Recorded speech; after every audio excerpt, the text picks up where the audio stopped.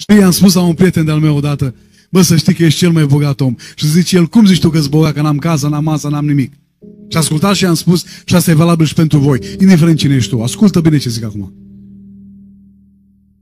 Ești bogat? Mă auzi? Ești bogat? Când dimineața asta te-ai trezit din patul tău și te-ai îmbrăcat singur.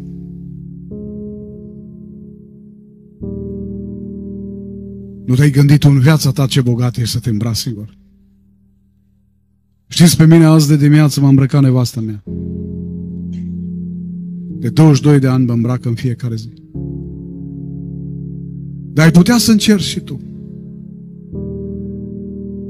Uite, încearcă și tu numai o zi. Fă ce spun acum. Ascultă-mă, experiența asta face cât o mie de predici.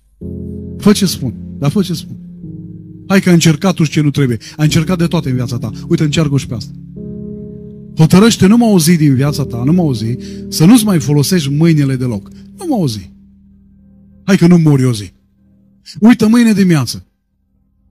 Să te scoli mâine dimineață din patul tău și să aștepți să te îmbrace cineva.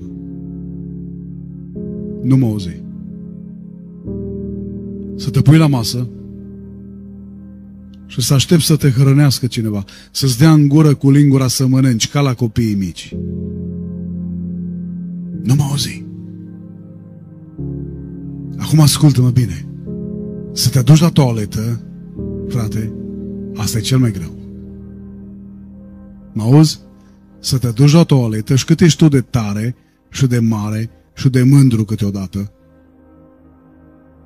să aștept să meargă altcineva cu tine la wc Să te ajute în cele mai intime lucruri despre care nu pot vorbi aici.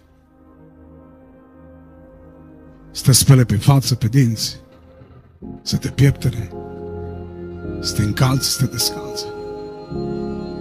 Nu mă auzi. Auzi? Nu mă auzi din viața ta dacă trăiești așa. O să vezi ceva ce n-ai văzut de când mama ta te-a născut.